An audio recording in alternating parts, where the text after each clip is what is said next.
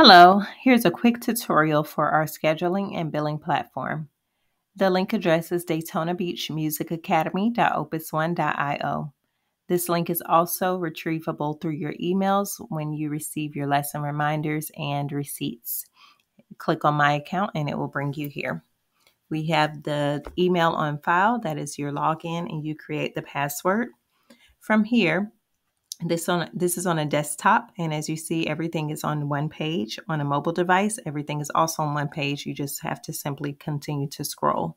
Comments. This is a section for communication with your instructor. Everything you want to know about your lesson will go here. If it has anything to do with scheduling or billing, please contact our office line 386 516 4650.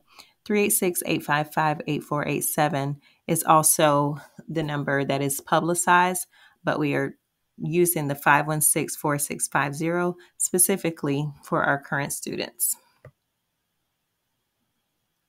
From here, you can also see your schedule and you can cancel. If you have an online lesson or you need to switch to online if you can't make it to the studio, when your lesson time, I believe it's five or 10 minutes before, there will be another button that will appear that says join online. From here, it will take you directly to the Zoom, so you do not uh, have to ask us for the Zoom link as it's already preloaded in your accounts. To the right, you have your credits, and to schedule any makeups, you'll simply go to Use. It will take you to the booking page. You'll look for your instructor. If your instructor is not available, feel free to work with another instructor as things change. And with over 100 students, it helps us to share the load. And we have a great team. So, for example, let's say Charlie Ann, and we want to come in on Saturday at six o'clock. But since that's late, we're going to go ahead and have that lesson online.